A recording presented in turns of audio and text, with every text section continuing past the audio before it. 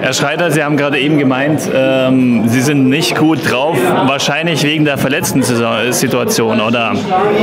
Nur wegen der verletzten Situation. Ich habe gesagt, ich betreue schon relativ lang äh, Sportvereine, auch Fußballvereine, aber das, was wir dieses Jahr hier erleben, ist äh, so der Höhepunkt meiner, meiner Laufbahn, muss ich sagen, dass wir sehr viele Muskelverletzungen haben, auch schwere Verletzungen, Kreuzbandriss, Innenbandriss. Die brauchen Zeit. Zeit hat der Verein oder die Mannschaft im Moment relativ wenig mit der prekären Tabellensituation, sodass dann immer die, letztendlich diese, dieser Kompromiss geschlossen werden muss, wie schnell bringen wir die Leute wieder auf Platz ins Training, wie lange müssen wir es eigentlich draußen lassen. Die Tragödie oder das Drama, wie man es nennt, hat sich heute vorgesetzt. Können Sie sagen, äh, was heute in dieser Geschichte passiert ist? Äh, der Marius Schäfer hat sich beim Warmmachen äh, bei einem ganz normalen Pass, Passschlagen, ohne Feinkontakt, wie ich das immer nenne, einfach einen wahrscheinlichen Muskelfaserriss zugezogen im Adduktorenbereich. Wird am Montag dann in die Praxis kommen. Das klären wir dann per Ultraschall und Tastbefund und jeder Mediziner weiß, dass letztendlich eine Muskelfaserverletzung zwei bis vier Wochen Ausfallszeit für den Wettkampfsport bedeutet. Natürlich in der Situation dramatisch im Moment, weil wir einfach auch relativ viel Langzeitverletzte haben, die jetzt peu à peu zwar wieder kommen werden, aber meines Erachtens sind es jetzt noch sieben Pflicht- oder acht Pflichtspiele. Wird eine spannende Sache von medizinischer Seite. Die Verletzten-Serie, ist sie nur dem Pech geschuldet? Mit Sicherheit ist Pech mit dabei, mit Sicherheit sind da auch äh, äh, ja, letztendlich Belastungen. Wir haben äh, Verletzungen auch bei verschiedenen Altersgruppen.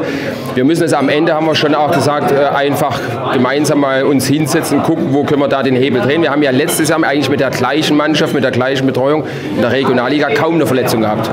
Ich führe relativ akribisch ein Verletztenregister bei mir in der Praxis. Was eben auffallend ist, dass wir relativ viel jetzt so Weichteil, muskuläre Verletzungen haben. Da müssen wir uns hinsetzen, Athletiktrainer, Trainer mit den Spielern auch, müssen gucken, wo wir die Hebel ansetzen können. Stichwort Trainingsänderung, Ernährung, sind viele Sachen, die man besprechen muss dann.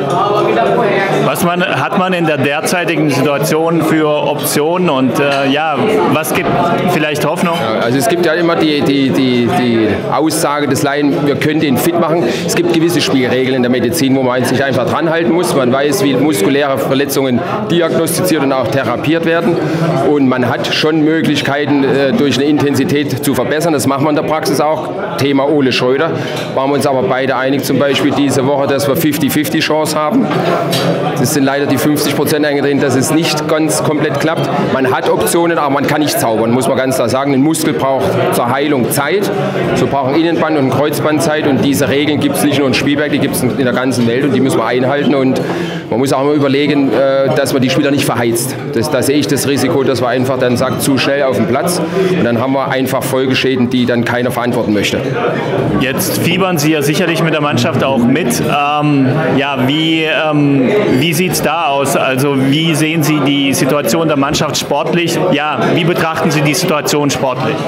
Also ich bin letztendlich nur dieses kleine Rädchen, das ich versuchen kann im medizinischen Bereich durch meine Praxis auch und durch äh, letztendlich das Vorhandensein, Dasein, dass ich meinen Teil dazugeben kann. Ähm, ich kenne mich jetzt auch schon relativ lange im Fußball aus. Ähm, ich glaube, dass da viel Glück mit dazukommen muss. Im Fußball ist das immer so. Medizinisch versuchen wir alles zu machen, dass die Spieler auf den Platz kommen. Aber da jetzt eine Prognose abzugeben, ich drücke ganz fest die Daumen. Was mich etwas stört, ist natürlich, dass in der Oberliga auch nie genau gewusst wird, wer steigt ab, wie viel steigen ab.